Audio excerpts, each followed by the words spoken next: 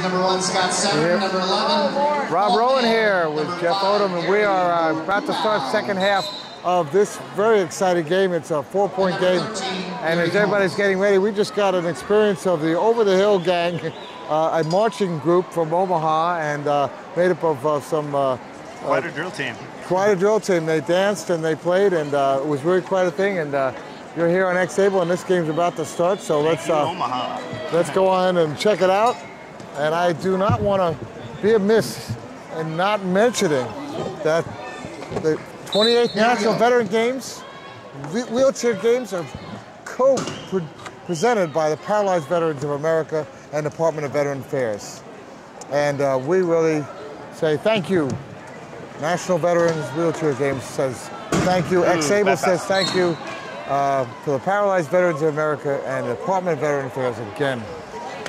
And we also To start have off the game, we'll uh, have a little turnover a little here. turnover right From, away. uh, a pass to the front of Delman's chair. oh, and there's a turnover back. And he turnover right back with a little, uh, oh, nice. Going sealed him under a lot there. of pressure there. And Getting a he little finds the pressure. hole, He's and he's got going on to the be, fire. He's going to hit those wheels. and he Delman scores. squirts score. out and scores for the Reds. That uh, they, they they didn't want to have any more points to it.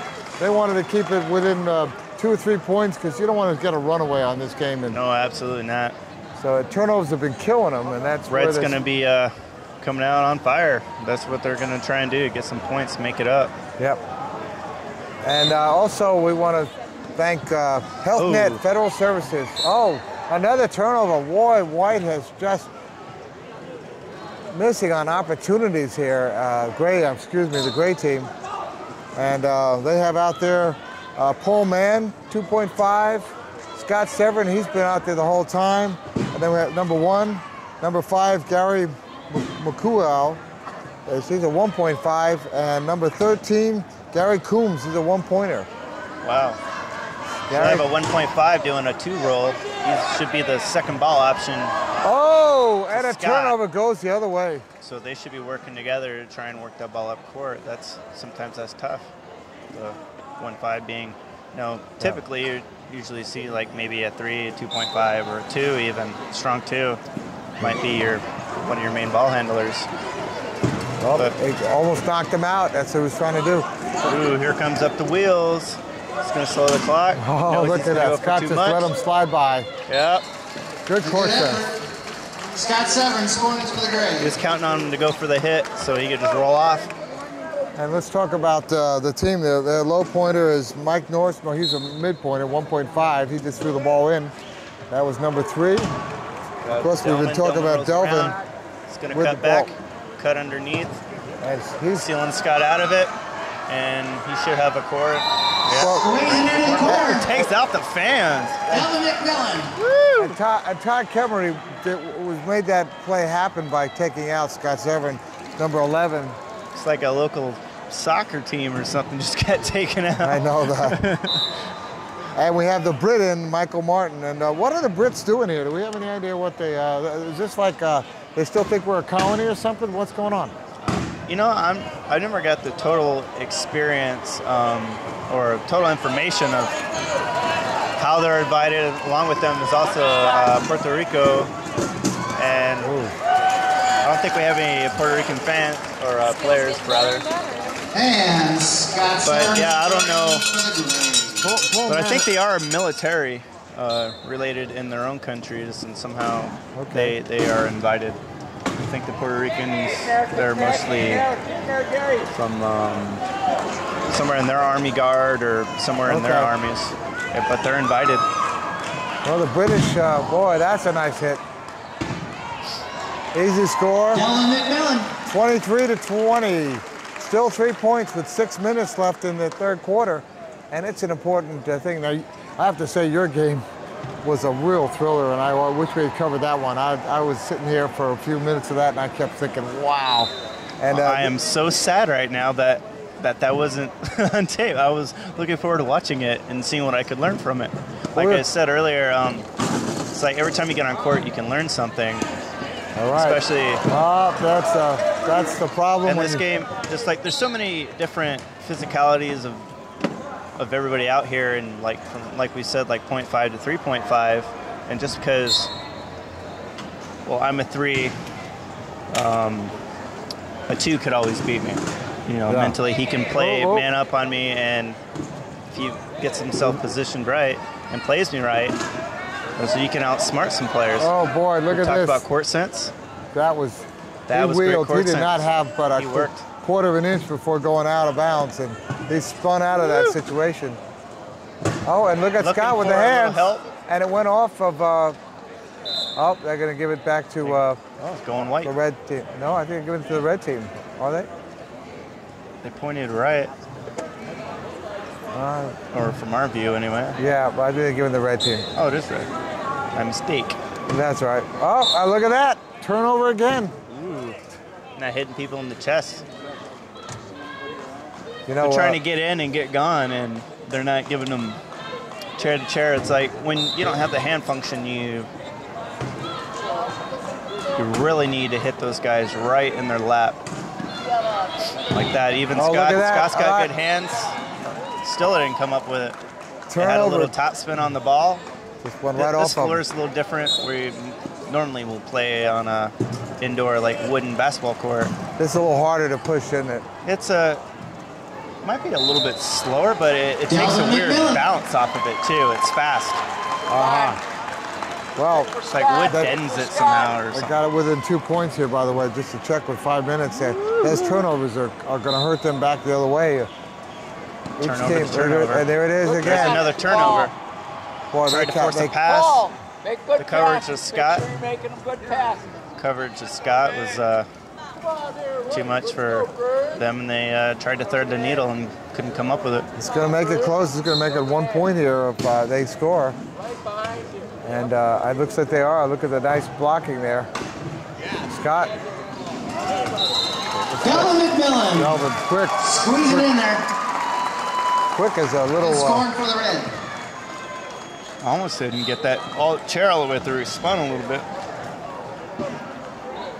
all right, Scott in traffic, looking for a hole. Oh, look at that. Good the ball. pass. Hit him right yeah. in the lap. Oh, fake pass. Red pulled Yeah. off. He's got room. All right, Timeout, White. Uh, time, I don't know how many timeouts that is, but uh, they only have four, and they got to be very judicious with the use of them. Absolutely. Yeah, so, We had the luxury of last game. We had three timeouts in the fourth quarter. okay, We utilized that. Actually, utilized one of those to get me back in the game. yeah. How many timeouts for the red team?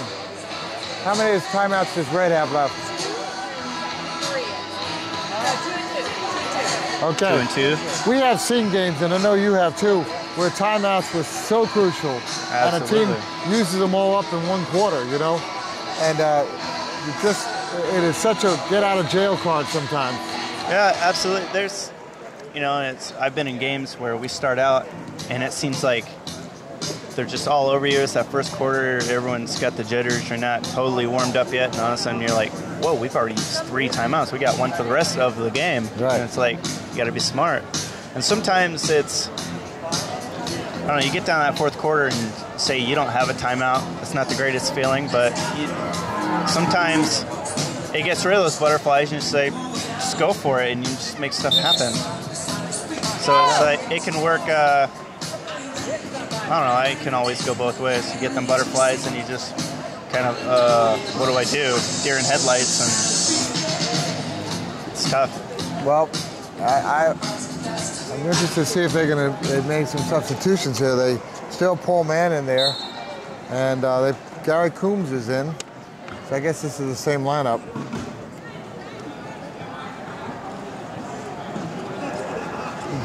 And uh, Good Gary, pass. Oh, it's a steal. well, Can't get ball, there. Can't get there. Pick up. and we are in. Uh, Odom just taken out on the sideline. all right. And here I got a ball. Mike down. Mike down. Yeah, that was close. White ball. All right, I got it. Well, we are right on the sideline. Wow, we were right in the action on that one. feet.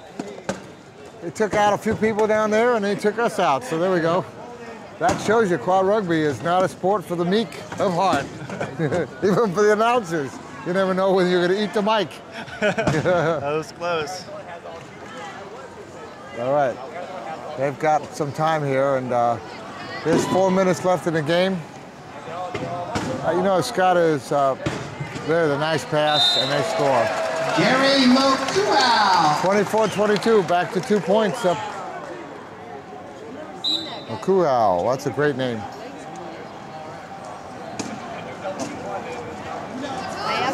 So Jeff, tell me about uh, your service. You served in uh, what armed force were you in?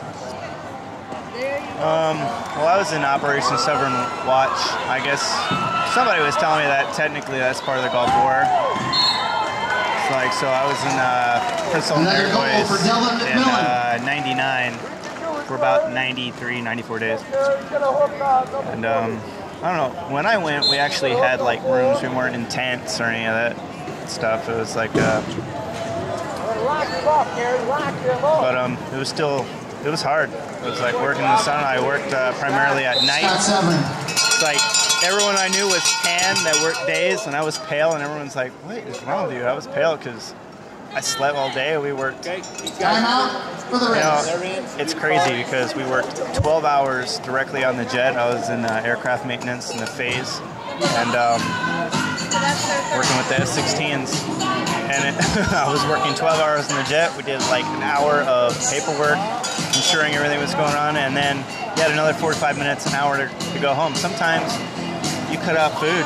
You're just you're dead beat. You go and get as much sleep as you can, and do it all over again the next day. And Oh uh, yeah, lot, lot, a lot of stories like that about uh, uh, the up tempo and uh, how you can wear out people doing that, and uh, it's a lot of, crazy. lot of, lot of uh, respect for the military. You know, I, I see a lot of people put that little bumper sticker thing on, and I think that's all nice and good. But the truth of the matter is, yeah. you know, I, I personally, if I go in a Starbucks and I see someone Might we military, have I him, always I'd buy like them to say Scott Severin. whatever coffee they have. You know, I try to do something if I can. I, I challenge you, you out there the when you see somebody. If I see someone in the airport or in a restaurant I, or wherever they are in a mall and they're in uniform, I always thank them for what they do.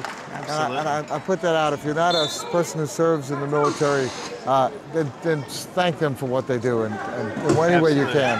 Not only the not only the veterans, but like any veterans. You know, Yeah. just like oh the, the wheelchair veterans, all veterans. Guard, anything reserves. Yeah. That's all. Oh, it's all oh some part of it. those people have, uh, you know, basically put their business up for. Uh, uh, you know, Scott's making a move, working up court, getting Delma screwed up. Use utilize a pick. look at that. Cut Look at back. the way he's nice, Got a little bounce. He needs a little help there. He needs a pick, I mean, Ooh.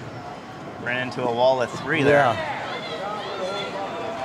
It's so funny. I was watching Power Soccer, and they have all these things: three on twos, two on ones, and stuff. and you could start watching quad rugby, you immediately start thinking, "Is that allowed?" You know. I, I, you usually, I do do a sport. I do one sport. You know, I don't go back and forth in the same day. To from softball, power soccer, to quad rugby. You know. Yeah, you'll you'll lose your sense. You'll be like, okay, what?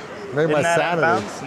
bounds? No, uh, I don't know. Anyway, but it's interesting because some of these guys are playing sports, Yeah. two different sports in a day. So, Yeah, like playing softball and coming out here. That's so what else are you doing out here in the? Uh, he's got time that's running out on him. They need a score.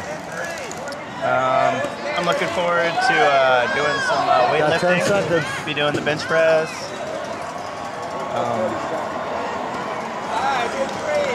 I don't consider myself like greatly strong, but strong enough.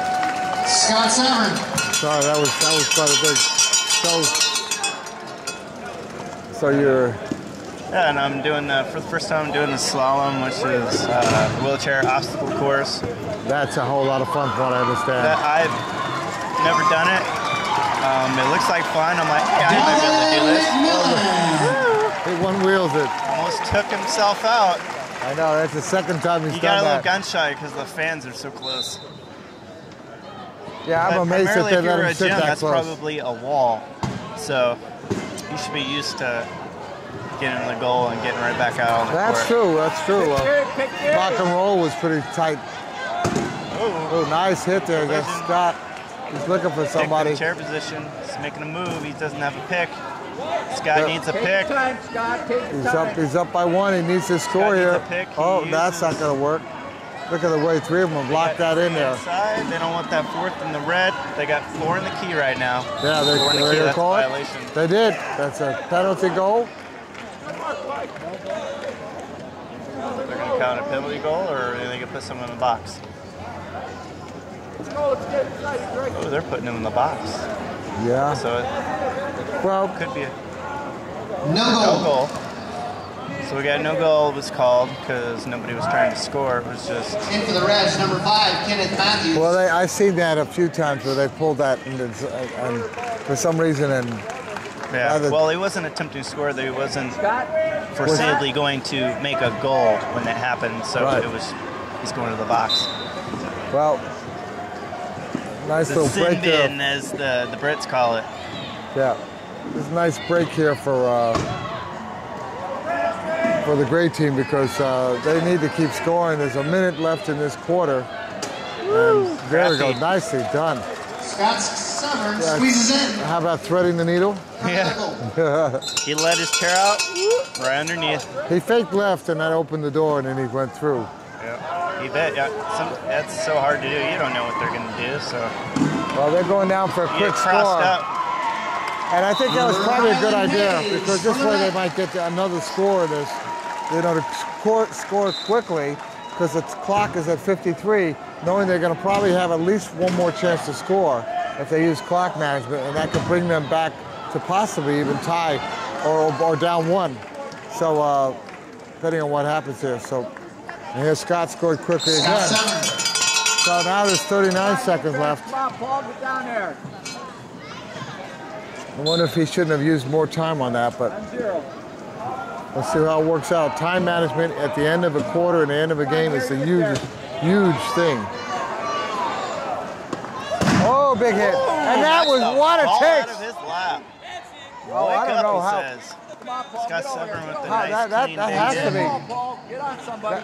Why wasn't that given to uh, the Gotta great give team? him Get on the red That wasn't a spin. I don't know. That ball That went off his his lap. lap. That don't went know. off his lap. I don't know what. Maybe it came out front and hit uh, Severn's chair. From our view, we might not have seen that. Maybe not. Oh, look at all those hands. Ooh, Derek finds Tall the guy. ball. There's 15 seconds great left. reach. They're holding it for the last thing. They Hold want him out. Hold him out, Scott. Delvin looking for that hole. Five seconds Waiting left. For the set. Look at there. There's a whole way Two on that side. There's the nothing they can do about that. Called timeout. No, I don't know about that. I don't know. Why would he End call timeout? quarters, That, Brady that would be horrible. That, that- he he had a score. 15 on the clock, right? No, no. That's the end of the I third quarter. call, It looked like he could have pushed it in five seconds. Looks like he could have pushed it in on that hole, and then he let it slide. He just kind of slowed up. Yeah, I don't believe he knew the uh, time on the clock. That's that is one of the issues they have. They don't have the clock seeable and stuff. right. I Well- was. I found myself in the bin. I was like, "How much time do we have?" And I could barely see from my angle. All right, well, we're going to uh, take a little break. End of the third quarter, we have a uh, two-point game. Uh, Gray up by two over the red team, and this is Rob Rowland with uh, Jeff Odom, and we'll be right back.